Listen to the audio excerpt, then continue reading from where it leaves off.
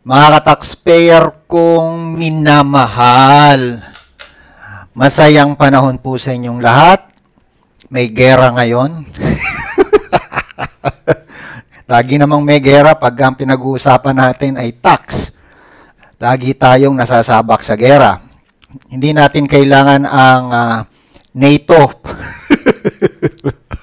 Hindi natin kailangan ng NATO. Walang nakakailangan sa NATO. Kailangan lang nila yung ating resources. So, pag-usapan natin mga ka-taxpayer kung minamahal ang uh, letter of authority. Ayan. So, pangalanan natin tong war against letter of authority because for the past 35 years of uh, practicing as a tax specialista, the main ingredient ng ating uh, pagpapractice ay nasa letter of authority eh karamihan ng nakaka-receive natin ng letter sa, ng BIR eh. Hindi naman natin alam kung tama o mali. Eh. Yun lang naman ang totoo dyan eh. Di ba? Kahit ako, pag tiningnan ko yung letter ng BIR, hindi ko naman alam kung tama o mali yan eh. Mag-iimbestiga pa ako. So, dahil dito, ang lalakas ng loob ng mga BIR official. Kala mo sila yung mga Diyos o Diyos-Diyosan. So, babasagin ngayon natin yung mga mukha nila. Kung pwede nga lang, basagin natin yung mga mukha nila. Kasi sila yung drug addicts. Actually, sila yung mga drug addict. Addict sila sa corruption. Ah, sila rin yung mga dealers. Sila yung nagbigay sa iyo ng ng gamot, sila rin yung magbibigay sa iyo ng panlunas doon sa gamot o problemang binigay nila. Napaka-unfair. Napaka-unacceptable. So, ang gagawin ngayon natin is paano pine-perform. Yun ang dapat nating iintindihan at ilagay sa mga utak ninyo. Gusto ko kayong mga accountants, kayong mga lawyers, kayong mga may may-ari ng company, ilagay nyo sa tuktok ninyo paano nananalo ang BIR at paano natin tatalunin yung pan- palagi nilang panalo. O ito yung batas. Pag hindi ka nagsalita, na yung BIR ay regularly nagpe-perform ng kanyang duty, ipe-presume ng government agency, lalong-lalo na ng Supreme Court, tama yung ginagawa. Tama yung ginagawa. Pero, meron din naman tayo, meron inilagay na karapatan. Again, ang batas sa atin. So, gamitin natin yun. Ito ngayon yung ginagamit ko. Lagi kong ginagamit at sana naman gamitin ninyo because uh, makakatulong to, lalong-lalo na dun sa mga nagpa-practice. Dalawa lang ho yung ginagamit ko. Ayan. Ito yung number one. Number one, Article 7, New Civil Code. Administrative or executive acts, orders, and regulations shall be valid only when they are not contrary to the laws or the Constitution. O di, ang simple-simple. Meron daw law meron daw constitution. So, yun yung dalawang aspeto ng buhay nating mga Pilipino na dapat nating alamin.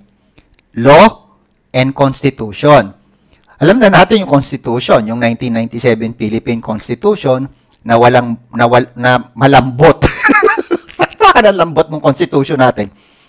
Pero meron tayong law, katulad ng Republic Act 8424 as amended, law yun.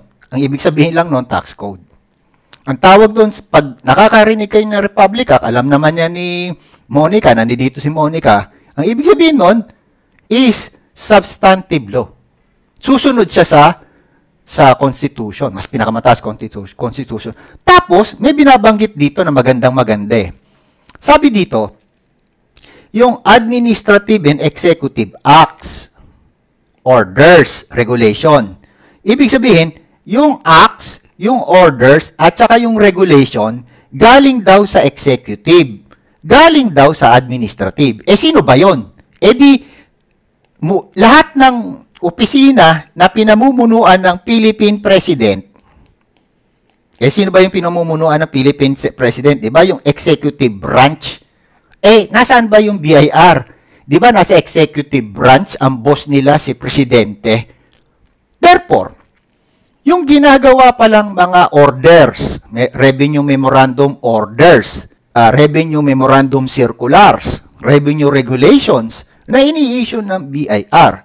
Pag yan daw ay contrary sa law, meaning tax code and other laws, kasama na yung civil code, contrary sa constitution, ay void. So therefore, kung yung pinagmumulan ng uh, ministerial duty ng mga revenue officer ay void, therefore, ano man ang gawin o pagsunod ng mga uh, revenue officer dun sa particular acts, uh, orders and uh, regulation na yun, eh void. Therefore, ano ang gagawin natin? Inuutusan tayo ng batas na to na i-reconcile natin yung mga rules ng BIR sa law. At i-reconcile natin yung mga uh, kautosan ng BIR o RM o RMC, uh, RDAW, dami yan, RAMO, sa tax code at constitution. Yun ang lagi kong ginagawa. Lagi, yan ang trabaho ko. Reconciliation lang. Parang bank, reconciliation ng bank statement at saka ng libro, ng journal or ledger, cash receipts, and cash disbursement book. Ganun na trabaho ko. Reconciliation. So, pag nalaman kong mali, meron na akong bala. Ibig sabihin, yung resulta, fruits of the poisonous tree, doctrine. So, kung yung puno, yun yung mga revenue regulation, ay contrary sa law. Therefore, yung fruits o yung result sa pagsunod sa maling rule, eh di mali din. Panalo tayo. Makakancel natin yung assessment, dito, tuturuan ko kayo paano makancel ng LOA. So ngayon, punta ngayon tayo sa LOA. Ito ngayon yung itsura ng LOA. Siguro nakakita na kayo niyan, kaya kayo narito ngayon. So pag-aralan natin yung LOA.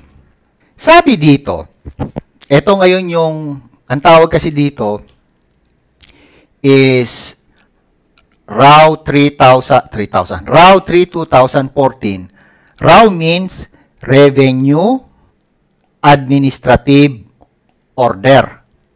Ang gumagawa ho niyan ay Secretary of Finance nirekomenda ni Commissioner of Internal Revenue. Ibig sabihin, interpretation ng Secretary of Finance yan ng tax code ng Pilipinas. Yun yon. So sabi dito, ang utos na pinagagawa sa lahat ng regional director sa buong Pilipinas ay ito. Ministerial duty to. Ibig sabihin ng ministerial duty, yung mga regional director hindi kailangan mag-isip. Okay? Bawal gamisin ng utak. Susunod lang. Ha? Sunod sa utos lang sila. Yun lang ibig sabihin. Sunod sa utos, walang gamit ng utak. So sabi rito, ang, ang inuutos sa kanila, prepares list of taxpayers recommended for audit based on audit program prescribed by DNO. So dalawa yung inuutusan. Una, yung yung regional director, pangalawa, yung mga subordinates niya, and of course, si commissioner ng BIR. Ang nag-uutos si Secretary of Finance. Sabi niya, bago yung regional director o yung revenue district officer ay makapag-issue ng LOA, kailangan merong uh, prescribed na audit program na ang gumawa ay national office. Ibig sabihin, hindi pwedeng gumawa ng audit program kahit sino. Isa lang pwedeng gumawa, national office. Tanong, mayroon bang audit program ang National Office para i-audit, para mamili, para mag-recommend? Yun ang nakasulat eh. Di ba? List of taxpayer, gagawa daw ng list, recommended for audit. So, ang magre-recommend yung RDO, duty ng RDO. Pwede nyo pong i-download dyan, i-validate yung sinasabi ko. So, ngayon, meron. Ito yung program. Mapapansin nyo, audit program. So therefore, tumatama dito.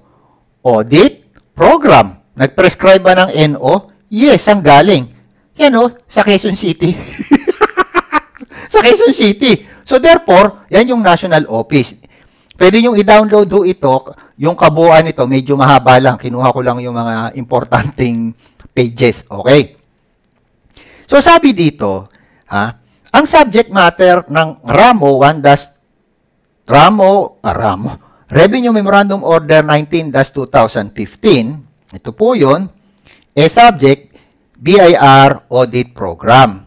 At ito po ay patungkol sa mga revenue officers and officials. Wala yung pangalan ng taxpayer. Therefore, ito ay ministerial duty.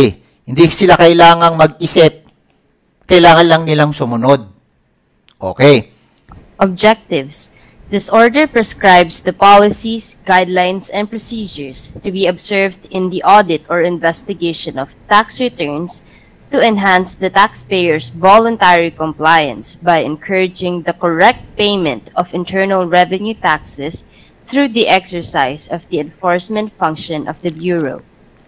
So may meron daw policy, guideline, and procedure na i-observe. Ayun yun eh. Ayan. Oh. To be observed in the audit investigation of tax return. Tanong, sino ba ang mag-audit? Yung taxpayer ba mag-audit sa sarili niya? O yung revenue officer ang i-audit niya yung taxpayer? Natural. Yung revenue officer yung inuutusan na mag-audit ng tax return. So, de- definitely, to be observed. Ang sabi, eh di, kailangan nilang sundin. Kailangan nilang sundin. Ayan. Tanong, sinusunod ba? Next steps to do. Number one, attend webinar.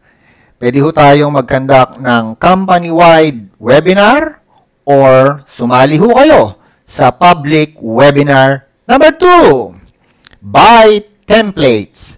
Pwede ho tayong gumawa ng customized, tailor-made para ho sa inyong pangangailangan o yung pong gawa na ready to use. Number three, coaching. Turuan ko kayo ng bookkeeping, auditing, accounting, NOD, PAN, FLD, FDDA, assessment notices ng BIR. Last, number four, engage tax specialista on a project basis. Tawag na, tawag na, call na. At para ho sa mga karagdagang kaalaman tungkol sa taxation, manatili ho kayong nanonood, nakikinig at nanunuri sa aking ibang mga videos. Peace and happiness be with you mga minamahal kong ka-taxpayer for life. Masayang panahon po sa inyong lahat.